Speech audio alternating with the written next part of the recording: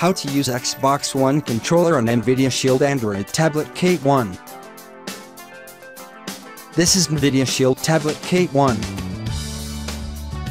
And this is the third version of Xbox One Wireless Controller or V3. The one that has Bluetooth technology. Let's turn it on and press the sync button. Slide down to open the tablet settings. Choose Bluetooth setting and then more setting. Wait for the controller to show up. Click the Xbox wireless controller to pair it. Now the controller is connected to the tablet. Let's try running some games. For example, Real Racing 3. This game is known to have full gamepad support.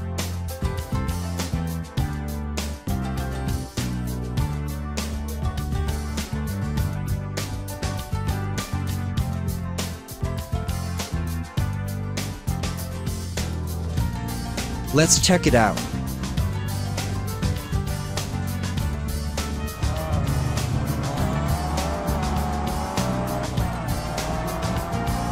The controller works very well, just like a native controller.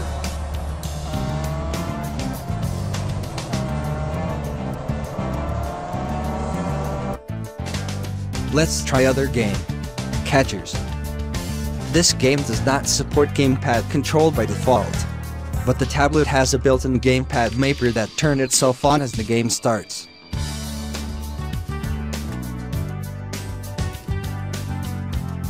Press and hold menu button to open gamepad mapper settings. Select the blank button and move it to a desired location on the gameplay screen.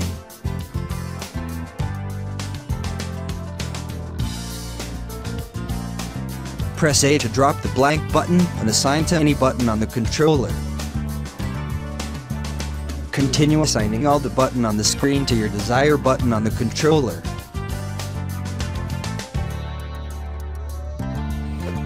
Press the X symbol to close the gamepad mapper settings. Now you can easily control the game with your gamepad.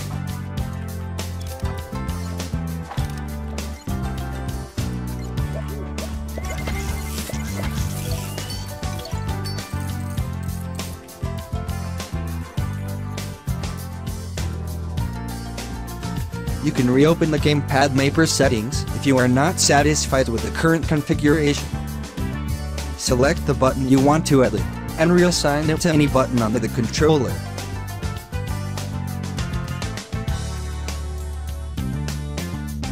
Press X symbol to close the settings bar.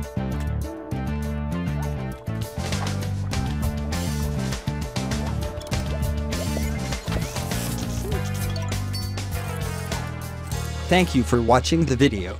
Please subscribe for more videos.